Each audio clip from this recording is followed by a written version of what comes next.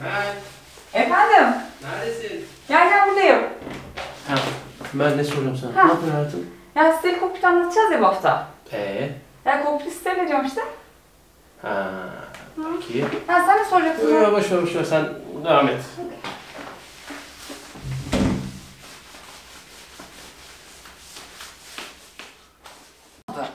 Üç, iki, bir.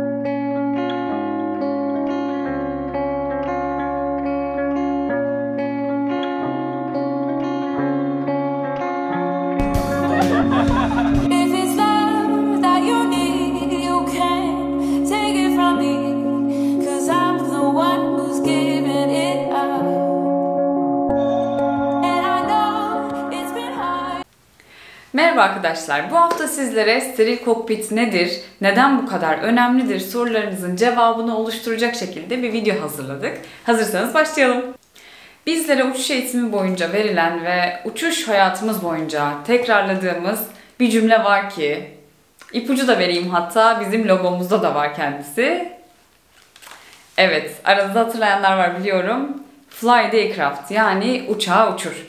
Serkan bana 3 sene önce evlenme teklif ettiğinde ben hala öğrenci pilottum ve Serkan'ın mezuniyet töreni için İrlanda'ya gitmiştik.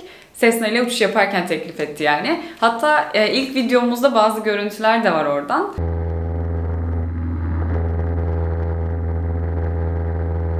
Ve yüzüğü verirken dedi ki bu yüzük sana e, uçuş hayatın boyunca şans getirsin ve uçuş hayatın boyunca unutmaman gereken bir cümleyi de içine yazdım. Evet neredeyse bizim hayati mottomuz oldu diyebilirim yani. Şimdi evlilik yüzüklerimizin içinde de aynı şey yazıyor. Fly the aircraft. Yani aslında sadece uçuş olarak düşünmediğinizde hayatınızın felsefesi haline bile gelebilir. Kriz anlarında en önemli olan şeye odaklanmak anlamını çıkartabilirsiniz. Mutlu bir evliliğin sırrı bile olabilir bence. Peki bu cümle neden bu kadar önemli? Niye böyle bir giriş yaptım? Öncelikle görev esnasında neden böyle bir cümleye ihtiyaç duyulur onu bir konuşalım isterseniz. Biz uçuş esnasında kokpitte birçok iş yükünü yönetip kontrol ediyoruz aslında kokpit ekibi olarak. Ve bunların başında da uçağı uçurmak geliyor. Aslında böyle söyleyince ne kadar kolay değil mi? Uçağı uçurmak tabii ki yani en başta gelecek olan görevi bu olmalı. Fakat tahmin edersiniz ki dış etmenlerden dolayı etkilenince çok fazla dikkat dağınıklığına yol açabilen şeyler yaşayabiliyoruz. Bunlar bazen kule konuşmaları olabilir, kabinden gelen bir çağrı olabilir ya da yerde kokpiti hazırlama esnasında içeriye giren bir operasyon görevlisi de olabilir. Evet uçağı uçurmak öncelikli görevimiz ama dış etmenlerden de tabii ki etkilenmek çok kolay. İşte bu yüzden de ilgili otoriteler kaza raporlarını incelerken sebep sonuç kök ilişki analizi yapmaya başladıklarında kazaların birçoğunda dış etmenlerin başrol oynadığının farkına varıyorlar.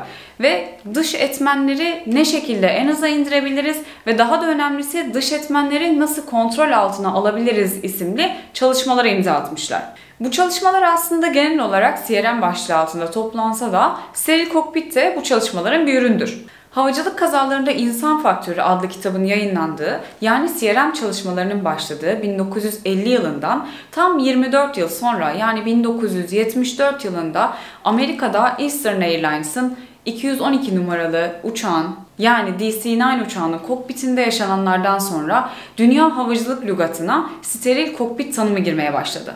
Kokpit ekibi iniş esnasında sisli bir havada aletli yaklaşma yapıyor olmalarına rağmen görsel olarak başka referanslar aldıkları için disoryante olup bulunmamaları gereken bir irtifada oldukları için havalimanı yakınlarında bir arazide maalesef DC-9 tipi uçak infilak etmişti. Kaza sebebini araştıran NTSB yani Amerikan Ulusal Güvenlik Konseyi uçağın voice recorder'ını dinledikten sonra böylesine kritik bir safhada ve çok dikkat gerektiren hava şartlarına rağmen kokpit ekibinin uçuş dışında birçok konu hakkında konuştuğunu gözlemlemiş ve tam 6 yıl sürecek olan bir çalışma başlatmıştır. Bu çalışmalar sonunda steril kokpit ilk defa FAA yani Amerikan Federal Havacılık İdaresi tarafından 1981 yılında katı bir kural olarak havacılık dünyasına kazandırılmıştır. 1981 yılında hatırlarsanız United Airlines ilk defa kokpit ekibine CRM eğitimine tabi tutmuştu. Yani CRM ve steril kokpitin ne kadar eş zamanlı olduğunu buradan da anlayabiliriz. FAA steril kokpiti şöyle tanımlar. Uçuşun kritik safhalarında taksi, kalkış ve iniş başta olmak üzere 10.000 fitin altında uçağın uçurulması dışında herhangi bir etmenle ilgilenilmemelidir. ICAO yani Uluslararası Sivil Havacılık Örgütü ise bu tanımı biraz daha genişleterek herhangi bir kritik safhada uçağın uçurulması dışında başka bir şeye odaklanmaması gerektiği olarak tanımlıyor. Peki neden steril kokpit bu kadar önemli? Öncelikle biz pilotlar her ne kadar multitasking dediğimiz çoklu düşünce yapısına alışık olsak da yapılan araştırmalar neticesinde monotasking yani tekli düşünce yapısının çok daha verimli olduğu aşikar. Multitasking yani çoklu görev yönetiminin bu kadar yoğun olduğu kokpitte muhakkak ki hata yapma riski de yönetilen çoklu görevlerle birlikte artmaktadır. Dolayısıyla steril kokpit kuralı hem kritik safhalarda odaklanmamız gereken görevlere daha iyi odaklanmamızı hem de hata yapma riskimizi minimize etmek için muhakkak uyulması gereken bir kuraldır. İyi uygulanan bir steril kokpit daha verimli ve efektif bir çalışma ortamı sağlamakla birlikte emniyetli ve güvenli bir uçuş da beraberinde getirir. Tabi FAA'nin steril kokpit ile ilgili tanımı dışında çoğu şirket de bu konuda kendi kurallarını koymuş durumda. Örneğin Japon Hava Yolları FAA'nin steril kokpit tanımını daha da genişleterek anormal durumları da eklemiş.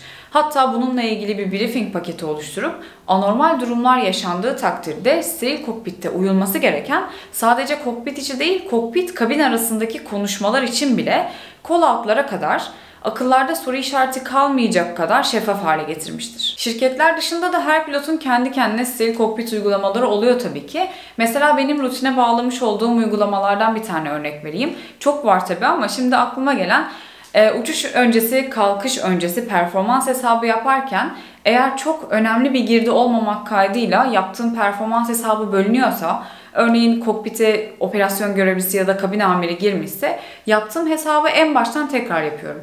Böylelikle hata yapma riskini minimize etmiş ve en azından emniyeti en üst düzeyde tutmuş oluyorum. Evet bu haftaki konumuz olan steril kokpiti elimden geldiğince sizlere aktarmaya çalıştım arkadaşlar. Umarım sizler için de faydalı ve açıklayıcı bir video olmuştur.